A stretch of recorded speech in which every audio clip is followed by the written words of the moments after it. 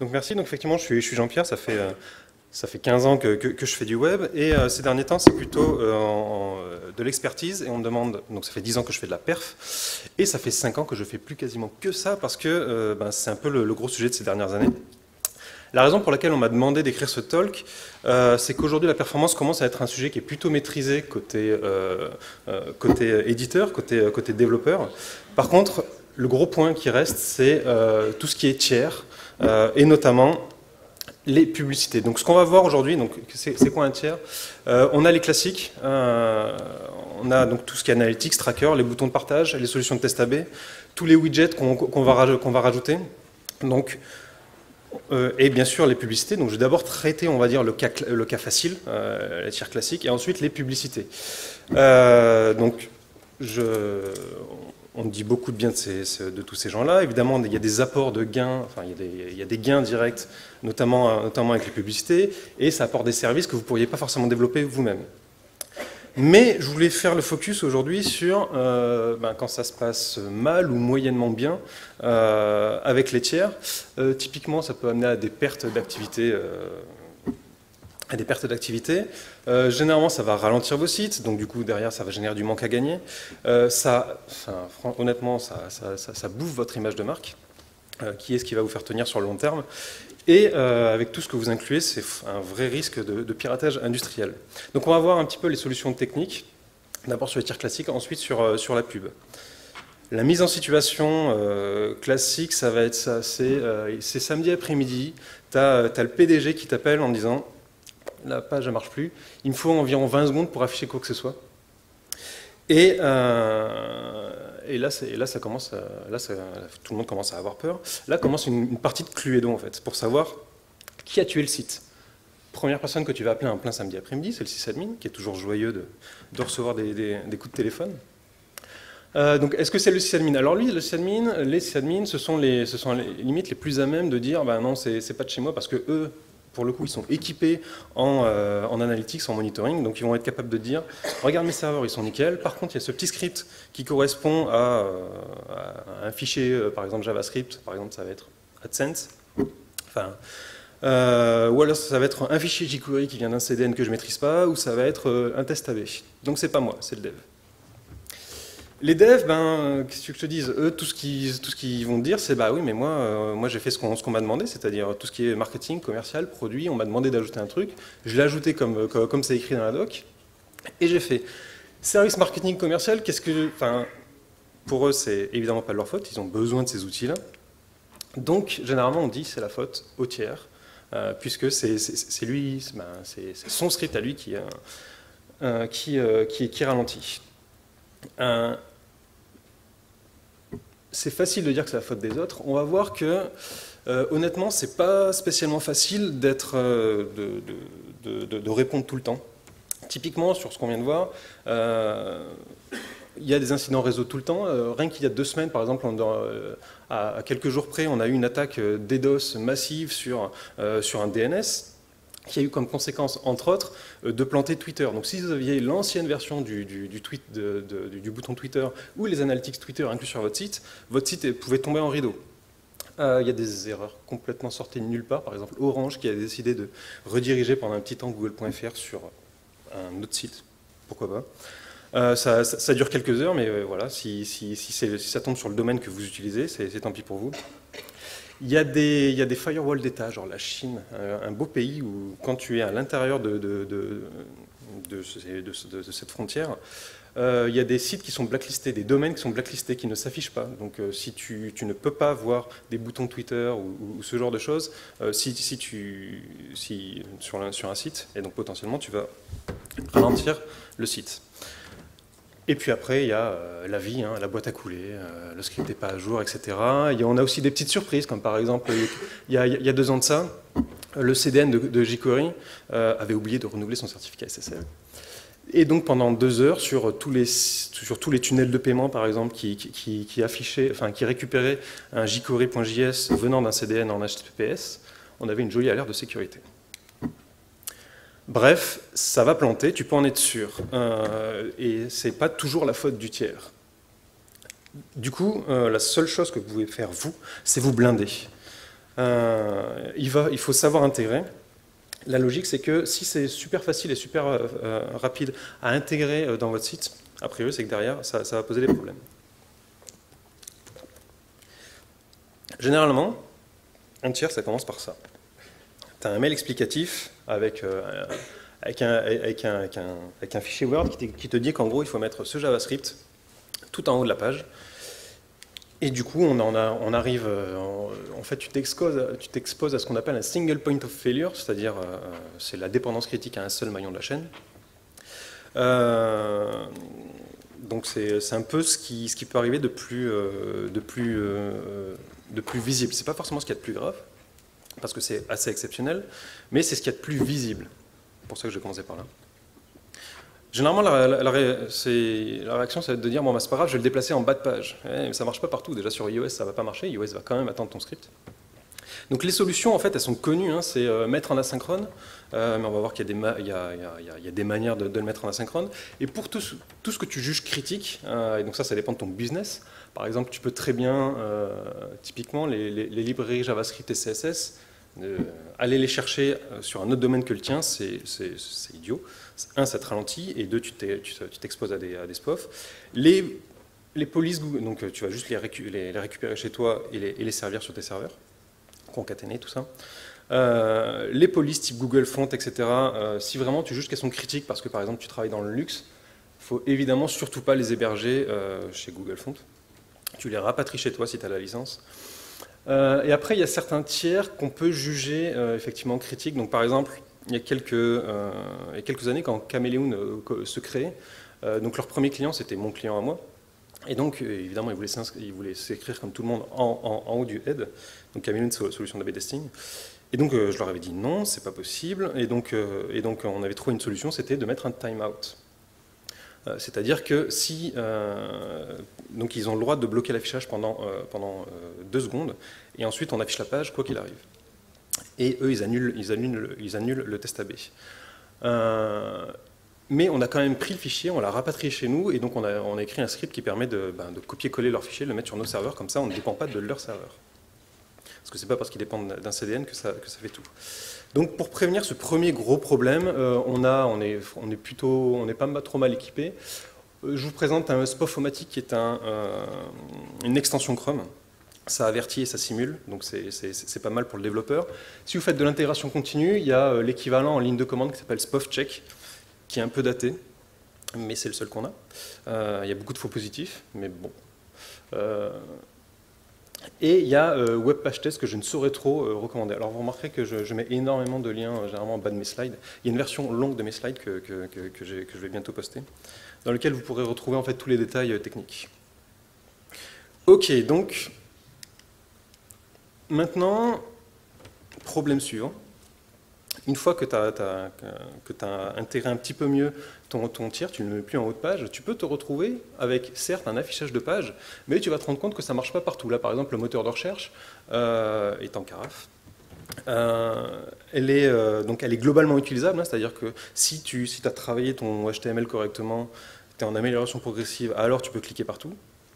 Mais euh, en l'occurrence, euh, là on attend le, ce jour-là, c'était AdSense qui, euh, qui, plantait, pourtant qui était inclus en asynchrone, mais c'était une ancienne version de l'asynchrone qui ne prévoyait pas tout. Là, le, développeur a choisi d'attendre, en fait, pour exécuter son code, pour être certain qu'il peut l'exécuter, il s'est dit tiens, je vais attendre que, le document soit prêt. Donc il est allé document prêt, document ready sur Stack Overflow, il a trouvé document pour edit est égal à complete qui correspond, donc document.readyState est égal à complete, qui correspond en fait à window.load, c'est-à-dire c'est le pire événement que tu puisses choisir pour exécuter ton code à toi. Euh, Puisqu'en gros, tu vas attendre les iframes, les images, euh, les scripts qui ont, alors c'est vicieux, les scripts qui ont, été inclus en asynchrone, mais qui ont été inclus plus vite que, que, euh, ce que tu pensais, euh, comme l'ancien code de AdSense par exemple. Donc, évidemment à proscrire. Ce que font la plupart des gens, c'est, ben, je, vais, je vais demander à jQuery quand est-ce que le DOM est prêt, donc document ready ou dollar tout court. Donc ça, attend l'événement qu'on appelle DOM Content Loaded, qui est, euh, qui est un petit peu mieux, qui se déclenche un petit peu plus tôt, qui attend quand même tous les scripts, y compris, euh, et, par contre qui est retardé par tout ce qui est document.write. Euh, et document.write, c'est le mal, globalement. Mais effectivement, dès que tu as de la pub, tu, as, un peu de mal à t'en passer. On va trouver des solutions pour ça. Et alors la solution à laquelle peu de gens pensent, c'est tiens, si j'exécutais, alors évidemment, exécuter trop tôt, ça ne marchera pas. Ton DOM n'est pas encore là. Par contre, exécuter ton code juste après le DOM euh, qui est, qui est, qui est, qui est concerné par le qui est concerné par ton, par ton JavaScript, c'est ce que tu pourras faire de, c'est ce que tu pourras faire de mieux. C'est facile aujourd'hui d'intégrer un JS tiers, alors post, post 9 en tout cas, on a, on a, un petit attribut qui s'appelle async et qui, qui, qui fait ça bien. Euh, donc ça c'est la première chose. Et deuxième chose, c'est refuser tout ce qui est document.write. Euh, parce que ben, au moment où tu exécutes un document.write, potentiellement derrière va exécuter encore d'autres choses. Du coup, le navigateur préfère attendre avant de t'afficher le reste de la page. Euh, donc async, quasiment tout le monde l'utilise maintenant, mais il y a encore plein de vieilles intégrations qui, enfin les anciennes versions des, widgets ne, le prévuient pas forcément. Ok, donc ça c'était le deuxième problème, on le surmonte. Et Qu'est-ce qui se passe? Donc ça, ce sont des problèmes de chargement pur. Généralement, ça commence, à être maîtrisé. Euh, bon, pas chez mes clients parce qu'ils m'appellent, mais euh, ça commence à être maîtrisé chez, pas mal de gens. Et là, on arrive sur les nouveaux problèmes de performance. alors, ça tombe. C'est, euh, tu, vois, quand tu vas charger sur une page avec ton ordinateur portable et que tu as l'impression qu'il va bientôt l'éviter de la table, parce que les, ventilateurs se mettent à tourner à fond les ballons. le processeur plafonne, et si tu recherches, tu dis, bah, en fait, c'est pas mon code qui rame, donc j'y peux rien. Donc je suis tombé sur Scala récemment, euh, euh, toujours, chez un client. On a ici une single page application qui, euh, balance une galerie d'images pour savoir comment est-ce que je m'habille aujourd'hui. et qui a la particularité de vouloir charger une 150 images. Ça se gère, c'est possible, en écrivant le bon code, c'est pas le souci.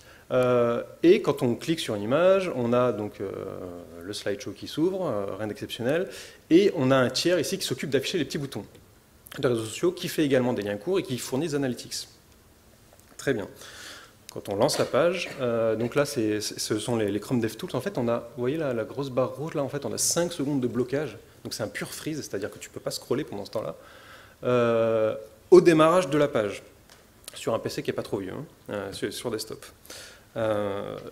Et si on déroule un peu, en fait, on va se rendre compte que, euh, donc, euh, on exécute des choses, là où il y a la petite ligne grise, on va tomber chez post-widget.js qui se trouve être le tiers. Et donc on passe trois bonnes secondes à attendre, à attendre le tiers. Et en plus de ça, en analyse complémentaire, ça c'est un extrait de Webpage Test, ici on a 150 requêtes montantes vers le serveur de poste euh, qui, qui sont déclenchées. Donc ça sur mobile, enfin déclencher plusieurs dizaines de requêtes comme ça sur mobile, ça, ça coûte cher. Donc cette fois-ci, j'en suis sûr, c'est la faute du tiers. Euh, mais il faut se mettre à la place des, à la place des fabricants de widgets et, des tiers euh, et se souvenir de toujours ça. Si c'est rapide à intégrer, c'est que ça va ramer. Eux, ils font des solutions qui sont censées être universelles euh, et qui sont censées ben, s'inclure sans, trop de difficultés, sans lire la doc. Erreur. pour tout widget, la première chose que vous... Enfin, allez vraiment lire la doc en profondeur. La plupart du temps, c'est. Donc là, en l'occurrence, le problème, c'était qu'on exécutait 150 fois ces petits boutons. Ça veut dire que pendant 150 fois, il va aller scanner l'intégralité euh, du DOM et modifier le, euh, DOM pour, pour s'inclure. Et en plus, il fait des requêtes pour récupérer des liens courts. 150 fois, c'est un peu trop. Euh, donc la solution, c'est tout bêtement de l'initialiser le plus tard possible. Et par exemple, étant donné qu'on ne va en avoir besoin que quand on lance euh, la photo, ben on va l'initialiser et l'exécuter euh, pour chaque photo, euh, uniquement quand on va voir cette photo-là. Mais évidemment, ça demande de lire la doc, ce qui apparemment est compliqué. et ça, ça marche pour tout le monde. Hein. vous incluez directement un, bouton Facebook ou, un, ou, un, système de commentaires ou de login. par défaut, si votre DOM est un peu gros, ça va ramer. Donc euh, si on vous demande d'intégrer rapidement un tiers, rapidement ça n'existe pas, 10 minutes ça n'existe pas, ça se fait pas en une demi-journée. Le temps de, se taper toute la doc et de bien vérifier l'intégration, il faut, négocier un peu plus de temps pour intégrer tout ça. Voilà, donc les outils classiques pour, mesurer euh, les, abus de, CPU, donc de processeur, donc tout, tout ce qui est gel de navigateur. On a évidemment les outils navigateurs que je viens de vous montrer, on a Yellow Lab Tools qui permet de, qui vous donne pas mal d'indications. On a Webpage Test qui a évolué récemment et qui permet de, savoir un peu euh, si le processeur part plutôt dans euh, afficher euh, le CSS, la complexité de la page, ou est-ce que c'est plutôt lié à des, scripts? Mais par contre, euh, j'avais pas d'outils. euh, on n'a pas d'outils en fait pour savoir, pour, euh, essayer de savoir euh, de quel euh, tiers euh, peut venir ou de quel domaine en tout cas peut, peut venir les abus de CPU. Du coup, j'ai dû écrire third party euh, abuser, qui euh, euh, est pas folichon, hein, ça s'affiche en ligne de commande, mais qui va prendre en fait la, sortie d'un Chrome, Chrome DevTools exporté qui va le scanner, qui va dire, ben voilà, là tu as passé euh, donc sur cette tablette Android machin, euh, pour afficher une page avec de la pub, il faut 22 secondes de, de- processeur, dont euh, 2 secondes qui sont passées chez toi, et euh, il y a euh, voilà, 2 secondes chez Facebook, encore. euh. Donc ça permet un peu de. Ça permet de juger un peu rapidement euh, euh, quel tiers abuse. Euh, Côté, voilà, donc il y a, d'autres pièges dans tout ce qui est externe, tiers. C'est par exemple les, boutons de partage. Ça, a, été la grosse mode. Alors on commence un peu à en, ressortir, mais bon, j'en vois encore qui traînent. Vous voyez, j'a- j'adore cette page parodique dont l'URL est ici, et qui, euh, qui en gros euh, charge plein de solutions de, partage. Euh, et donc en gros, on charge 3 mégaoctets. Là, vous voyez, j'ai exécuté sur un, sur un Nexus 7, euh, qui est quand même pas un petit mobile, et on a euh, 20 secondes de plafonnement du, du processeur. Donc ça frise, très clairement. Généralement, donc évidemment ce sont les extrêmes, généralement ce qu'on suppose c'est que euh, ça coûte rien, ou un abonnement à un tiers au pire, et ça, s'intègre en deux secondes, ce qui est, ce qui est- ce qui est pas faux. Mais comme on a vu, euh, si ça s'intègre vite, c'est que ça- va ramer. Euh, et on n'évalue jamais les coûts, les vrais coûts. Les vrais coûts, ça va d'abord être côté performance, euh, on se rajoute quasiment un demi-mégaoctet. Le, le processeur commence à, tourner tout ce qu'il peut. Donc là, en fait, c'est un test que j'ai exécuté sur un- une page WordPress accélérée grâce à un plugin célèbre. Et dessus, on a mis 5 boutons de partage. Donc, on- donc la page étant relativement simple, quand il n'y a rien du tout, elle se charge en une seconde et demie. Et dès qu'on rajoute euh, nos petits boutons, bah, on va se charger en deux secondes de plus, euh, ce qui peut ou pas, être grave hein, selon, euh, selon, selon votre business, mais pour un site WordPress, ça fait beaucoup. Voilà, et en plus on a perdu quasiment une demi-seconde pour les premiers pixels, parce que bah, ça c'est à cause de, Reddit qui, qui, qui- n'est pas en asynchrone. Donc voilà, donc la première des choses, c'est que vous allez vous demander si ces boutons sont utiles, parce qu'il y a des gens qui ont découvert que soit ils étaient, enfin ils pouvaient soit être carrément inutiles, typiquement dans l'e-commerce, soit ils pouvaient même nuire. Euh, Sma- Smashing Mag, il y a quelques années, avait dit bon bah là en fait on vient d'enlever les boutons Facebook et le trafic venant de Facebook a augmenté. C'était pas mal. Euh, donc en fait, plutôt que de faire un like sur le, bouton, les gens copient-collent l'URL et vont dans leur timeline Facebook, et du coup il y a, il plus de partage. Alors notez qu'entre-temps, Smashing Mag utilisé un widget qui est sorti entre-temps, c'est Share, qui fait la même chose. Euh, mais voilà, donc ça veut dire qu'ils ont réfléchi au truc. Euh, J'aime bien cette, euh, donc ce test AB qui a été fait sur un site de e-commerce, qui sont bien les derniers à avoir besoin d'un bouton de partage. En fait, quand ils ont supprimé les boutons de partage, ils ont augmenté la conversion, c'est-à-dire le nombre de clics sur, le nombre de clics sur, sur, sur ajouter au panier. Ils ont augmenté la conversion de 12%. Donc voilà, réfléchissez avant de, av- avant de mettre tout ça en prod. Et enfin, je rappelle l'utilité secondaire euh, de, ces, boutons, en tout cas les natifs, c'est qu'ils permettent ben, à Google, Facebook et les autres de qualifier leurs utilisateurs même en dehors de leur mur. Ils savent euh, sur quel, euh, sur quel, où est-ce que vous vous baladez. Et je rappelle que Google et Facebook sont vos concurrents principaux sur tout ce qui est marché de la publicité, qui vaut, qui vaut 3 milliards d'euros en, France. Google tout seul, c'est 42%. Euh, Facebook sur les, affichages classiques de bannières, c'est 30%. Donc, ce, enfin, ce sont vraiment vos concurrents à qui, vous donnez des informations pour qualifier leurs utilisateurs. C'est un peu dommage. Donc voilà, donc réfléchissez vraiment avant d'inclure des boutons de partage.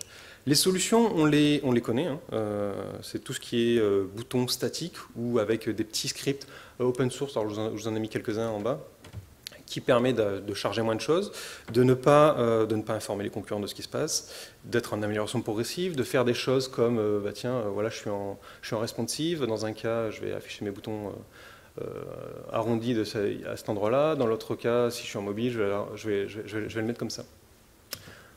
Donc voilà, c'est plus respectueux de votre marque, ça, s'intègre mieux et vous, vous allez arrêter de vous faire piller. À propos de se faire piller, quand, donc, parfois le problème c'est le nombre de tiers qu'on laisse traîner, qu'on laisse traîner sur ces, sur ces sites. Vous le savez,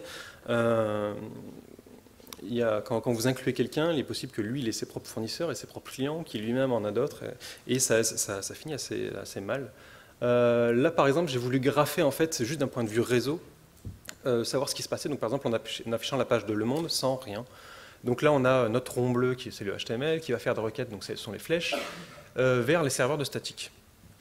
Rien de, rien de grave si je commence à allumer la pub, j'ai donc toujours mon, mon, HTML et mon JavaScript qui vont appeler les tiers, de ce que j'appelle les tiers de premier niveau, c'est-à-dire les tiers qui sont voulus.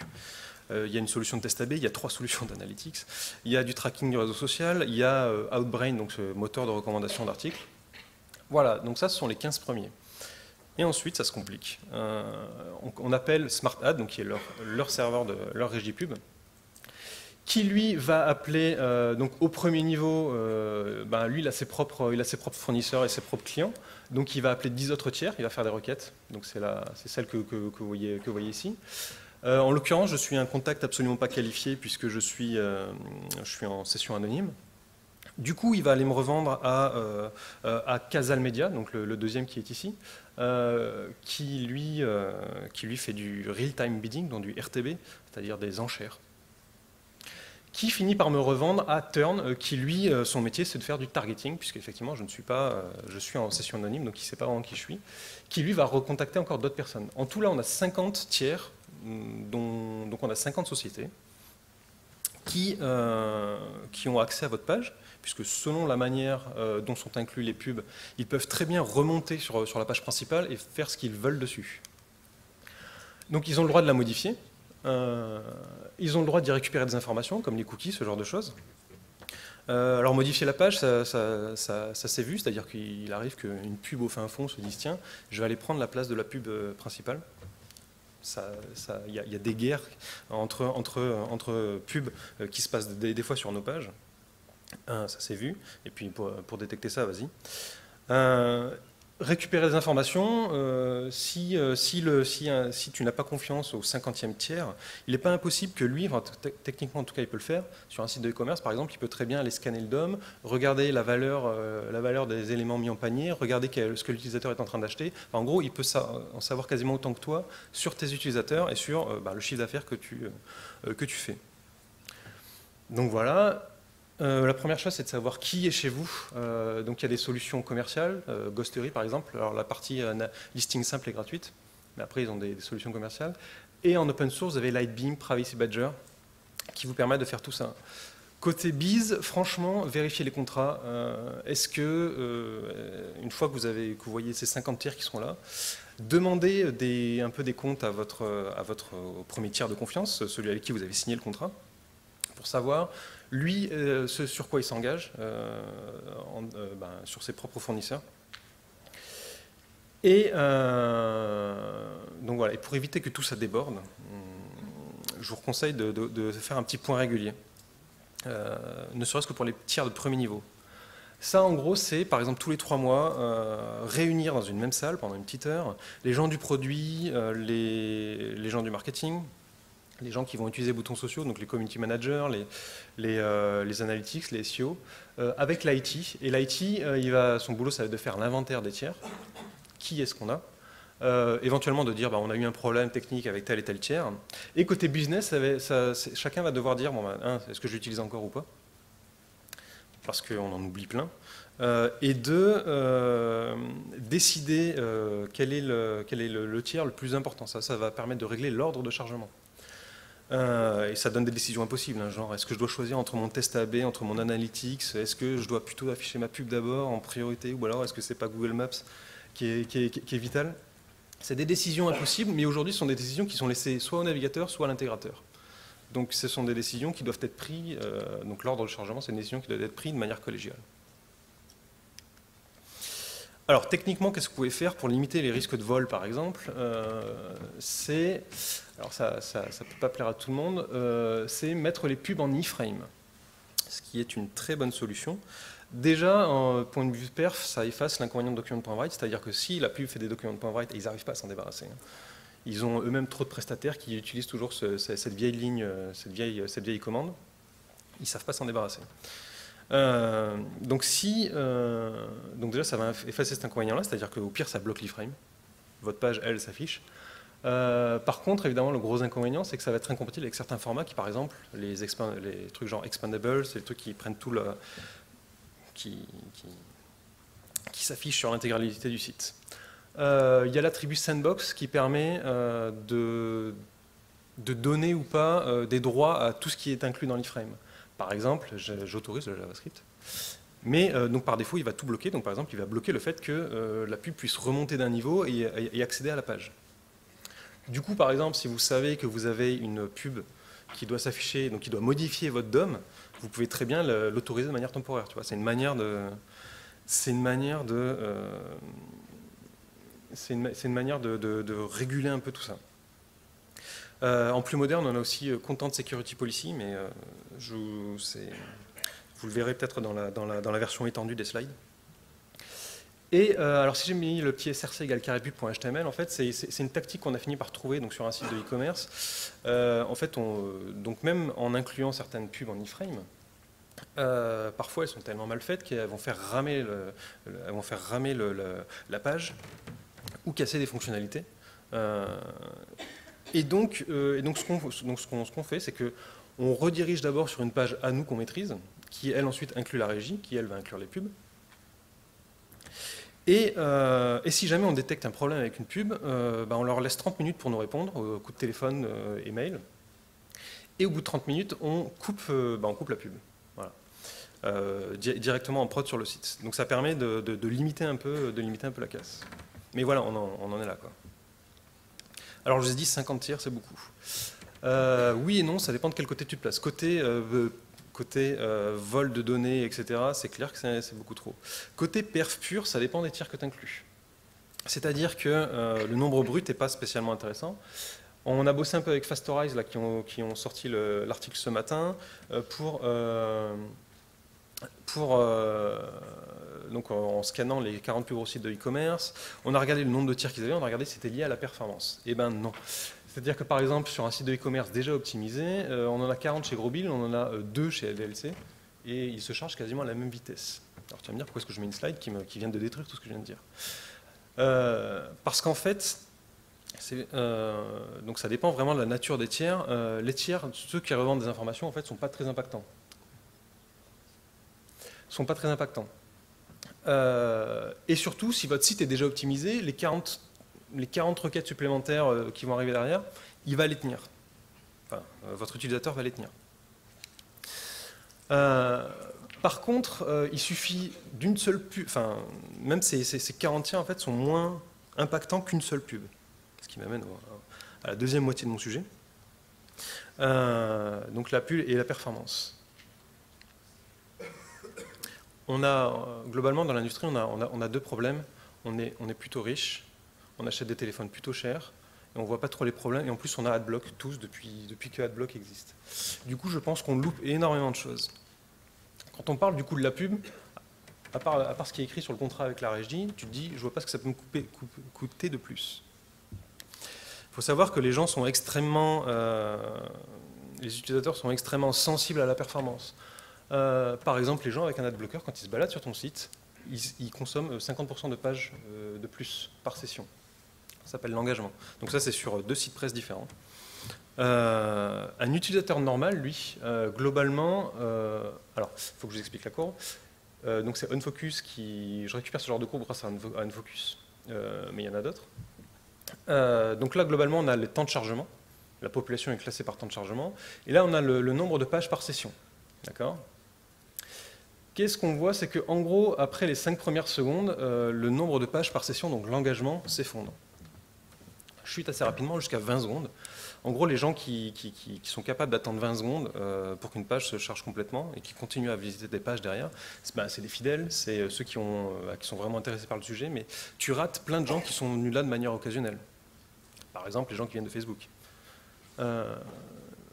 qui est, donc, donc voilà, donc tous ces gens-là, vous les ratez. Euh, quel mobile viser Je ne sais pas si vous avez regardé vos stats analytics. Euh, j'ai une vie tout à fait passionnante parce que je le fais. Et en plus, je vais récupérer en fait le prix des, euh, le prix des top, des, 25 premiers modèles de téléphone. Là, on a une moyenne à 380 euros pour donc donc chez, chez, trois clients différents pour le coup, y compris un site d'e-commerce. Donc, donc voilà. Et donc, donc, ce sont des mobiles qui sont je ne sais pas si ce sont des mobiles qui sont chers. Euh, moi, c'est le, prix euh, que je mets dans mes, téléphones. Et je pense que la, majorité de l'industrie met, ce genre de prix. Mais ce n'est pas vraiment le prix que mettent les, les, gens, les Français. En fait, euh, donc là, on a la valeur médiane d'un smartphone, et je parle bien d'un smartphone, c'est entre 100 et 150 euros. Ça fout une claque.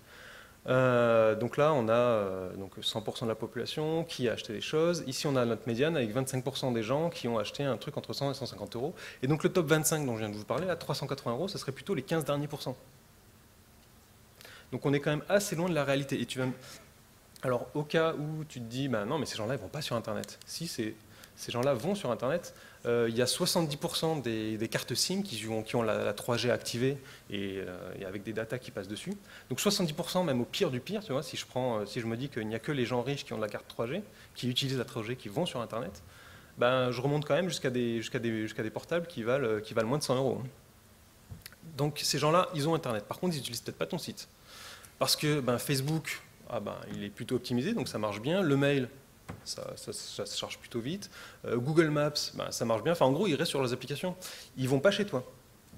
Parce que quand ils vont chez toi, euh, c'est la misère. Euh, quand tu veux afficher une page, un article avec, avec de la pub, 80% de tous les blocages, de toute la consommation processeur et de, tout le chargement vient des tiers. Alors, pas, toujours que des pubs d'ailleurs. mais, donc là, je, reprends toujours mon script. Euh, que vous voyez du coup en, zoomé. On a, euh, donc très peu de temps euh, processeur qui est passé sur le site lui-même et on a la majorité, de, le, reste du temps en fait, qui est passé sur, à exécuter les autres. Donc, pour moi, il est relativement clair que si ton site est lent, et généralement il est lent à cause de la pub aujourd'hui, bah, tu vas avoir moins d'engagement et moins de conversion et euh, tu te coupes de la majorité du parc mobile français. Parce qu'ils n'arrivent pas à afficher les pubs. Enfin, ça les, ça, les bloque. Qu'est-ce qu'on peut faire? Il y a des solutions qui, commencent à se faire, euh, dans certaines, notamment dans certaines rédactions. Alors, notez que les sites de e-commerce, eux, ils dépendent beaucoup moins, de la, beaucoup moins de la pub et ils incluent beaucoup moins de pubs. Généralement, sur les homepage, ils mettent plus de pubs du tout. Parce qu'ils ont compris que on va peut-être pas bloquer euh, l'affichage de la fonctionnalité principale qui rapporte 80% du business pour euh, de la pub qui me rapporte, euh, bah, généralement c'est un à côté. Donc par exemple Guardian qui, fait, un excellent travail en termes de, en termes de, eux, ils sont très très ouverts sur le mobile, ils, ciblent des, mobiles qu'on n'imagine même pas. Donc par exemple Guardian, donc, ils ont un espace de chargement qui est assez clean. Euh, donc d'abord, évidemment, il s'occupe, donc là j'ai ralenti le réseau, hein. euh, il s'occupe de charger le contenu, donc euh, l'image, vous pouvez lire, vous pouvez lire le titre. Ensuite, ils vont charger, charger une pub, une deuxième pub là-haut. Remarquez un, remarquez un truc, c'est que la pub qui est là-haut, l'espace était déjà prévu. voilà, et ensuite il y a la pub qui reste, qui reste en, sticky sur, sur, sur la droite. C'est-à-dire que quand on scrolle, quand on scrolle, en fait, la, pub va rester visible. Donc en fait, ils ont beaucoup moins d'emplacements de pub que les autres. Par contre, la pub est beaucoup plus visible.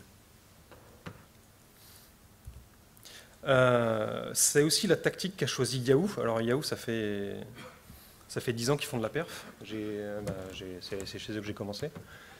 Et du coup, ben voilà, regardez les emplacements pub, il y en a un à droite, un à gauche. Quand on commence à scroller, donc, quand on commence à scroller, il y en a un troisième qui va s'afficher, et cette fois-ci, lui va rester en sticky il bouge plus. Du coup, la visibilité est extrêmement forte. Euh, et euh, il rajoute des petites pubs qui coûtent pas cher, euh, en termes de perf, et puis il n'y a pas d'agression visuelle non plus, tu vois, au, milieu, du flux. Donc c'est léger.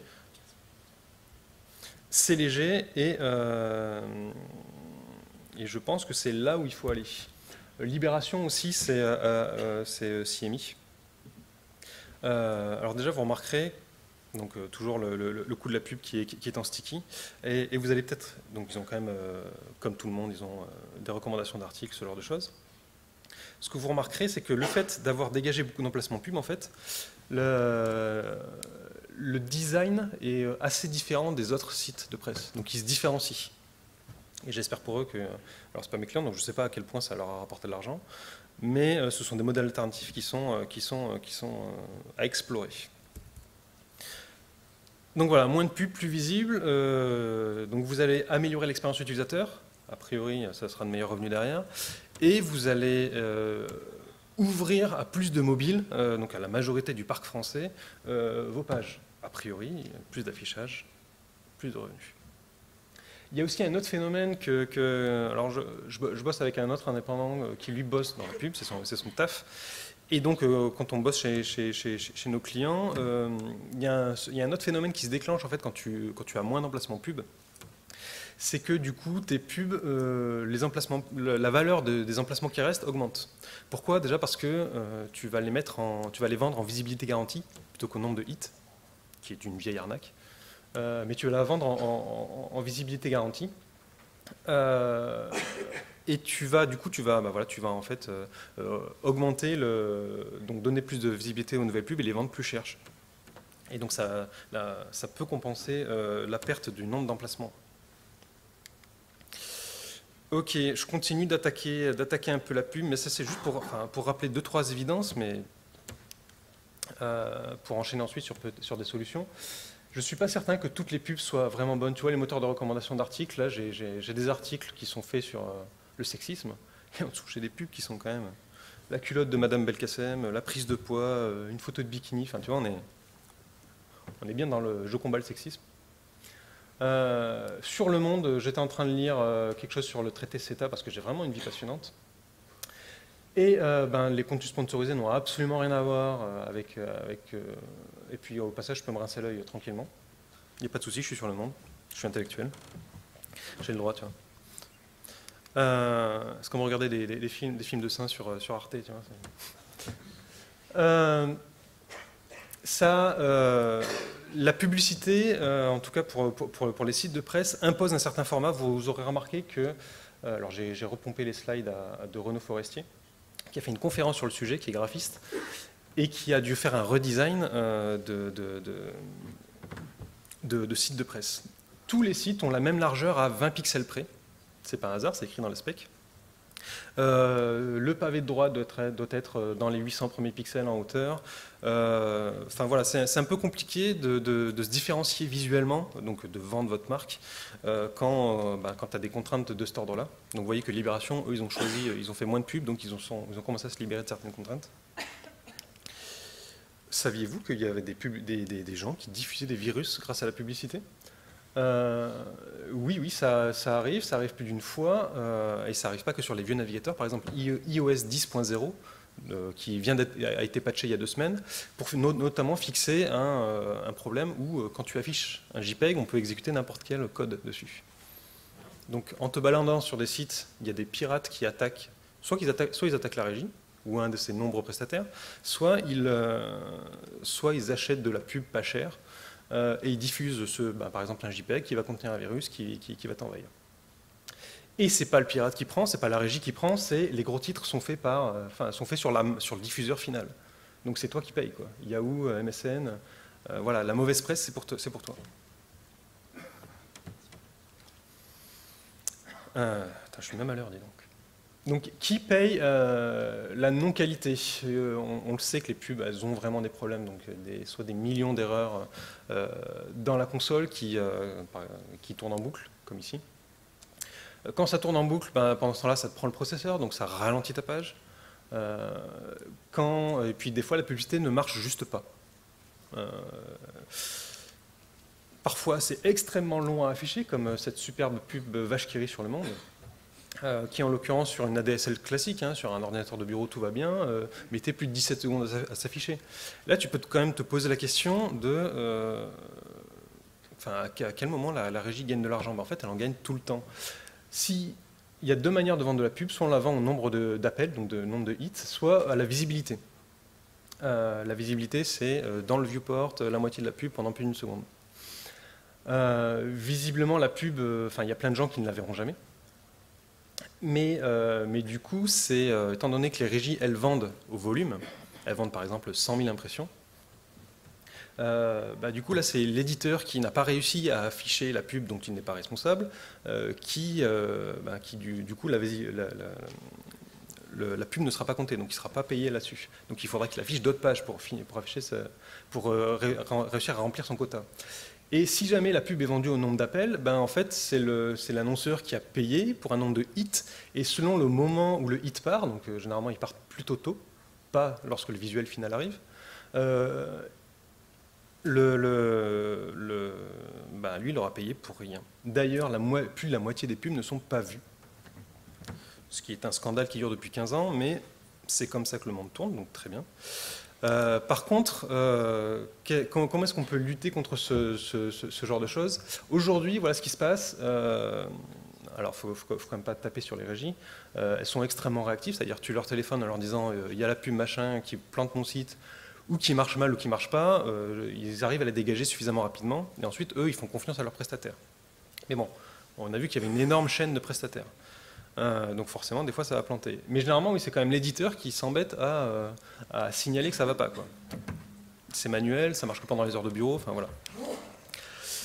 Ce qu'il faut faire, et, euh, le problème, c'est que ça va être côté éditeur. Vous, pourriez demander à la OJ, mais ce qu'il faut faire, en fait, c'est les surveiller. D'abord, commencer par écrire des vrais cahiers des charges entre vous et votre régie. Euh, il y, a des cahiers des charges qui sont déjà euh, écrits par les industriels de la pub eux-mêmes. Là, c'est IAB US qui, par exemple, va. Euh, donc, c'est le groupement des professionnels de la pub. il y a US, on a les mêmes en France. Par exemple, ils vont dire un skyscraper là, ne doit pas dépasser 200 kg à l'initialisation. Et ensuite, une fois que le DOM est complètement chargé, tu as le droit à 300 kg supplémentaires. Voilà, c'est ce genre de, de, métriques, qui, enfin, de, recommandations qu'ils ont émis. Alors, c'est rigolo, quand j'en ai parlé à IAB France, ils m'ont dit je connais pas. Euh, c'est OK. Mais du coup, c'est plutôt à vous, éditeurs, qui, perdez de l'argent dans l'histoire, hein, euh, à vous, éditeurs, en fait, de commencer à négocier avec, avec vos régies pour, ben, par exemple, mettre des points maximum. Donc, par exemple, ceux-là, même si sont, je pense qu'ils sont encore un peu extrêmes, mais... Euh, ne, pas, ne pas dépasser 50% d'utilisation du processeur ou pas pendant plus d'une demi-seconde. les vidéos ne doivent pas faire plus de, de telle page. Voilà et euh, leur demander que eux et leurs prestataires, parce que généralement c'est euh, euh, c'est plutôt les, les, prestataires des prestataires qui ont des problèmes, qui font de la mauvaise qualité, bah, tout ce qui est action technique classique web perf. Aujourd'hui, on n'a pas d'énormes solutions toutes faites, toutes, toutes, très bien pour, pour, détecter ce genre de choses. On, a les, on pourrait le faire, je suis en train de le construire avec des clients. On, on pourrait le faire notamment avec de, avec de l'open source. ici, on a on a euh, SiteSpeed.io qui, par exemple, me monitore le temps de réponse de tous les tiers d'une page. Donc vous voyez que la plupart du temps, par exemple, double-clic euh, se charge assez rapidement, puis de temps en temps, il faut 10 secondes. Euh, surveiller le poids chargé sur une page, ça, c'est SpeedCurve qui est commercial, qui, fournit ce, genre de choses. voilà, donc la plupart du temps, je suis à 2 mégas de chargement total, puis de temps en temps, il y a une pub qui arrive et qui fait 10 mégas de plus. Surveiller tout ça, c'est important. Euh, euh, et, donc côté processeur, puisque je pense que c'est la nouvelle guerre, euh, bah, aujourd'hui on n'a pas grand-chose. je commence à écrire des scripts, mais voilà, c'est en cours. donc voilà, donc les surveiller. surveiller tout ce qui est technique, disponibilité, temps de réponse, la qualité technique, donc les erreurs, le GZIP, tout ça. et surveiller tout ce qui est ressenti utilisateur, c'est-à-dire le nombre de secondes avant que la pub donc la marque qui est vendue dans la pub, par exemple, arrive à s'afficher. Ce, qui est, jouable. Euh, on peut surveiller aujourd'hui les requêtes réseau côté client euh, pour surveiller l'image X qui contient, je sais pas, la vache qui rit, par exemple, et t'envoyer ça dans des analytics. C'est les solutions qu'on déploie.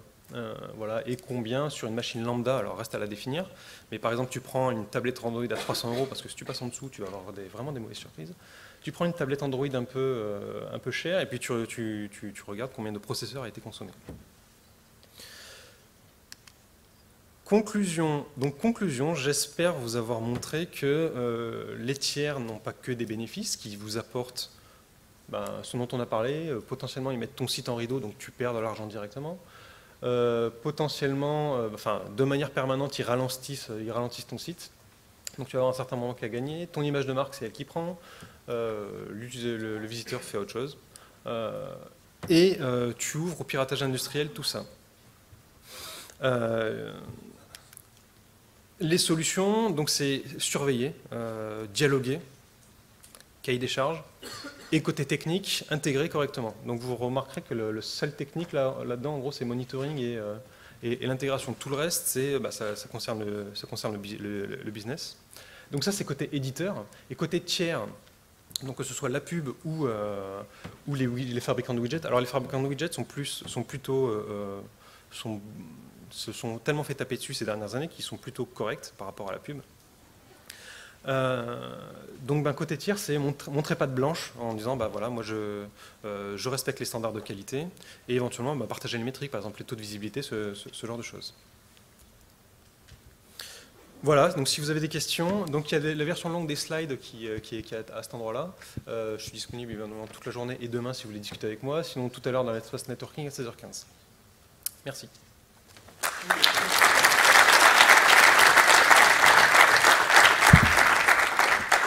merci Jean-Pierre pour, euh, pour cette présentation. Ce qu'on vous propose, on est un petit peu pressé par le temps. On va prendre deux questions, ce qui nous reste deux minutes. Donc si vous avez des questions, n'hésitez pas, on vous fait passer les micros.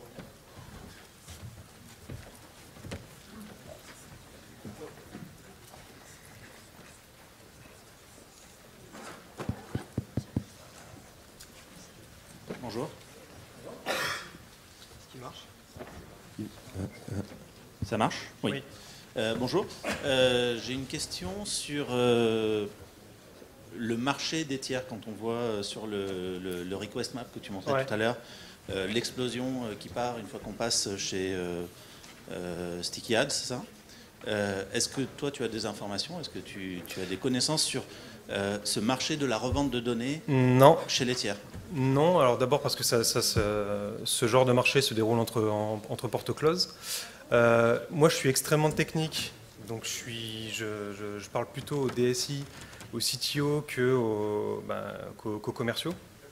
Euh, on sait que ces, données, enfin on sait, on se doute bien que ces données seront vendues, les, gens sont, euh, je pense que plus personne n'est dupe. Par contre, je ne suis pas sûr que tout le monde se rende compte effectivement du nombre qu'on a. Donc non, j'ai pas plus d'informations que ça là-dessus.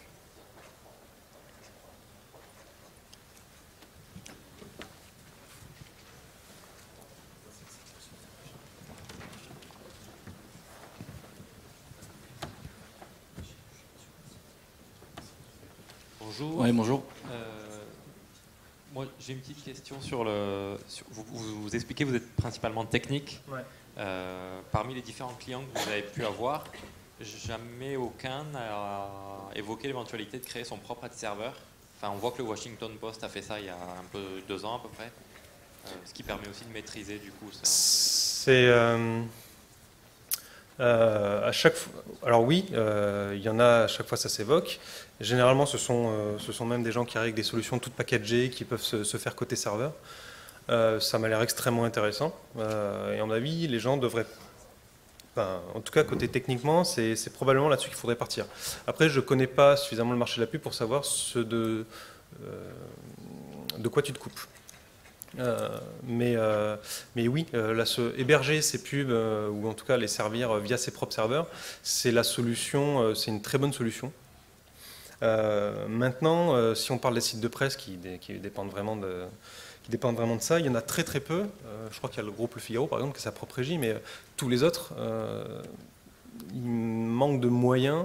enfin, ils sont un peu pris à la gorge financièrement, et ils manquent de moyens en fait pour développer ce, genre de choses. Donc, donc aujourd'hui, dans la solution la plus, pragmatique, c'est vraiment ben, de retourner voir son, son, euh, sa régie pub et de négocier tout ça avec eux, leur demander de la qualité. Le, marché de la pub, euh, enfin les acteurs de la pub, s'autorégulent doucement. Euh, sur 10 ans, on voit des évolutions, mais ils n'ont pas de raison impérieuse de le faire là tout de suite. Donc c'est vraiment aux éditeurs d'essayer de, négocier ça et, éventuellement peut-être de leur mettre la pression avec des, solutions alternatives. J'ai une petite question par rapport à AMP ou AMP. Euh, du coup, je voulais savoir si toi, tu avais un retour d'expérience là-dessus, si tu en avais déjà mis en place, et parce que du coup, ça change un petit peu le, système de distribution justement euh, de la pub via Tout à fait. Alors, le, alors euh, y a AMP côté technique, c'est au top.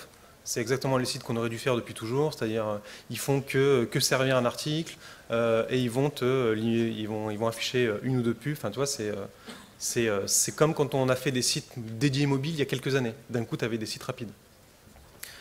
Donc AMP côté utilisateur, c'est top. Euh, mais très, honnêtement, c'est évident que Google, Facebook, Instant Article, tout ça, vont. Euh, en fait, ils gardent l'utilisateur chez eux. Donc tu n'as plus aucune raison. Euh, enfin, ils ont de moins en moins de raisons d'aller sur les sites qui, eux, rament, hein, je le rappelle quand même. Et donc pour moi, c'est un vrai danger. Ouais, du coup, une fois qu'ils auront récupéré, chez eux, quoi, on est d'accord. C'est tout en cache chez eux, du coup. Oui, alors déjà, il y a, il système de cache, et puis même, il, y a un, danger purement commercial, c'est-à-dire que quand ils auront, enfin en gros, tu as, le droit à certaines régies, donc tout à s'y mettre. Euh, quand ils auront toutes les régies, à un moment donné, ils pourront dire bon, bah, tiens, maintenant on va prendre 15%, ça ne vous dérange pas de. tu vois, c'est évident que, ça, va se terminer comme ça. Maintenant, les journaux ne peuvent pas dire non. Parce que le premier journal qui dit moi j'y vais, il récupère euh, bah, plein de pages vues supplémentaires.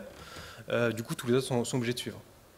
Donc, euh, donc c'est un, un, vrai danger, mais je pense qu'ils en sont conscients et qu'ils y vont quand même. Enfin, ils y sont tous allés, ça y est, c'est fait. Mais sinon, techniquement, c'est top.